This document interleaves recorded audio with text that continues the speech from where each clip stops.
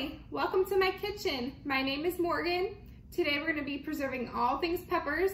I have bell peppers that I just need to chop up and get in the freezer. I have some jalapenos underneath all these bell peppers that I wanna turn into some more cowboy candy. And I'm just gonna be using the leftover brine that I made with my very first video of, of canning cowboy candy. And then we are going to be just pickling some banana peppers so we can have them for sandwiches. So let's get started.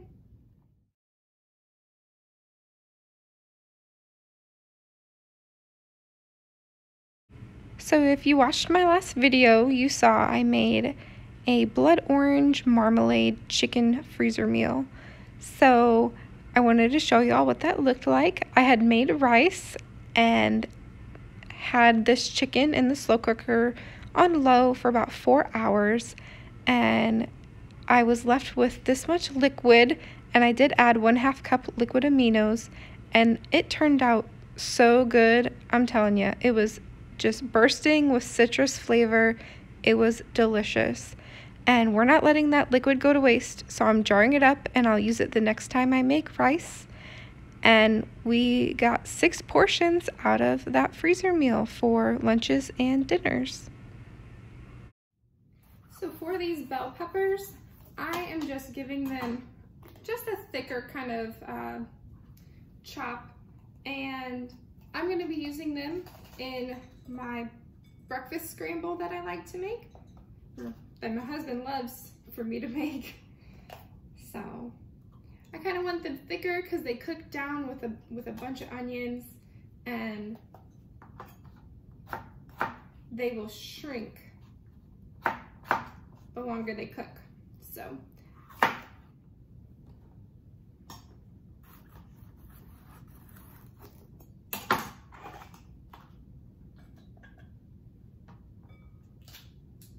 I had never thought to keep these pepper tops just because whenever I was growing up, my mom would always just throw them away like with the rest of the compost of the pepper and I didn't ever think that I would I could keep that and eat it even though it is just plain old bell peppers still.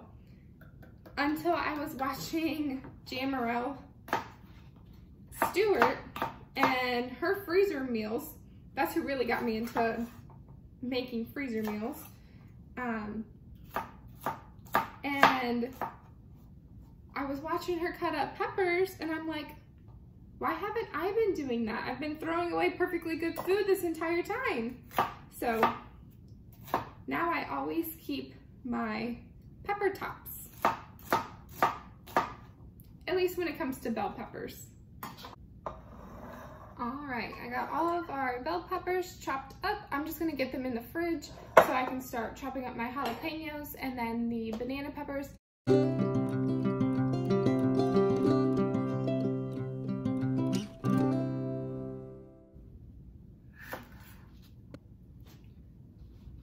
These jalapeno peppers, any of the peppers that I find that I had in the fridge just a little too long where the seeds have turned brown, I am removing those seeds, but all the rest of them, I am keeping the seeds in because with that previous batch of uh, cowboy candy, that one I had removed all the seeds. So I'll have like a spicier version with this one with the seeds and ribs remaining in the jalapenos. And then with that other one, it'll just be a little less spicy in case I wanna take it to like family get-togethers or anything like that.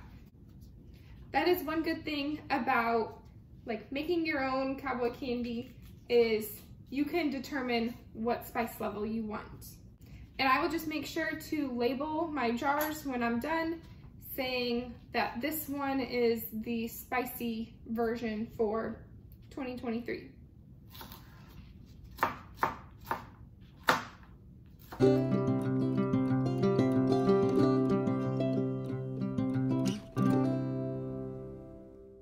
I'm trying to get this all prepped and ready before my baby wakes up. I'm currently watching him on the monitor and it'll be a lot easier if everything's prepped and ready to go So then when I put him down for his bedtime, I can just go ahead and can and freeze everything then. So I'm not trying to do all of it while he's just napping. As like in my past couple videos, I've shown the prep work that goes into it because it's so much easier having all of those things like the tomatoes or peppers prepped, ready to go before I start my canning session. So it's one less thing to worry about while I'm in the thick of it. A food processor would make your job a thousand times easier here. I don't have a food processor, so I'm just using what I have and a trusty old chef's knife works just as well. Just takes a little bit more time. So I'm just quartering the jalapeno once I get it topped and then dicing it from there. Because while they're being cooked down in the vinegar, they will shrink down.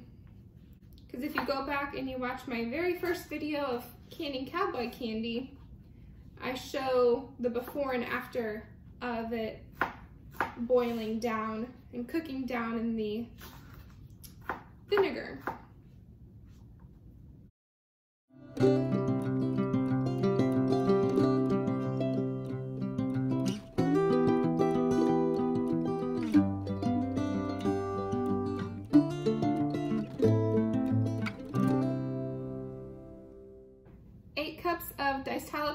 Again. So I'm gonna get these in the fridge and then I'm gonna work on cutting up my banana peppers and then probably by that time my baby will be awake. So I'll see what I can get done. But if not, we'll be back later tonight. So I am just topping these banana peppers, removing any seeds and ribs that I can, and then I'm going to be cutting them anywhere from a quarter to half an inch in thickness.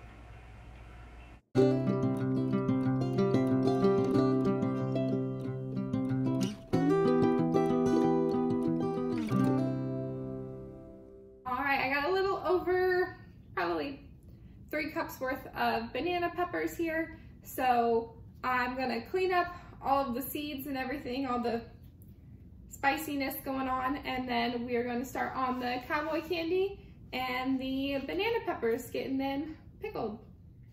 So I was planning on doing a whole new brine for the banana peppers, but I'm just gonna use some leftover cowboy candy brine and that'll be a lot easier and then I don't have to make anything else. So I'm gonna go ahead get the brine into our pots. I'm gonna put the jalapenos in here and the banana peppers in my smaller pot and get them heating up thoroughly.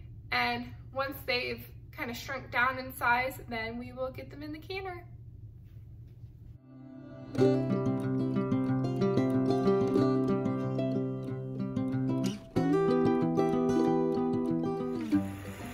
So our vinegar is boiling for the banana peppers.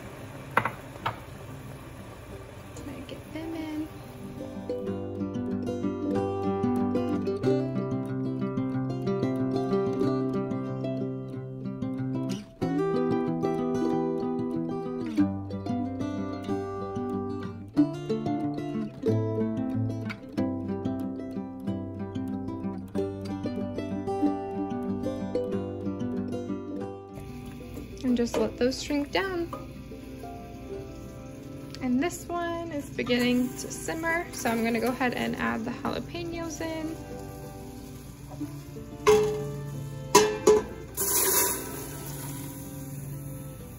And let that come up to a boil.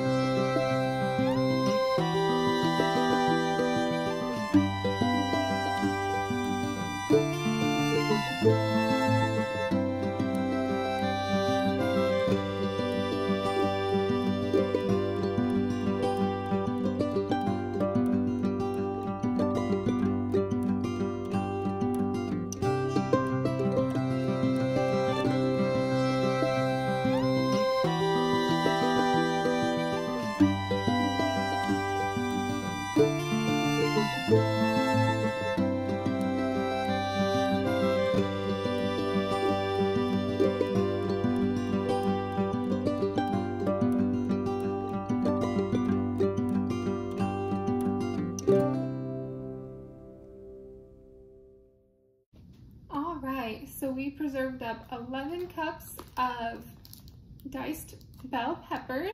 So I got four half pints of some more cowboy candy with the seeds, so it'll be a little extra spicy. And then one half pint of banana peppers. So thank you all so much for coming along with me as we preserved up all the peppers. And please make sure to leave a like, comment, and subscribe. Thanks. Bye.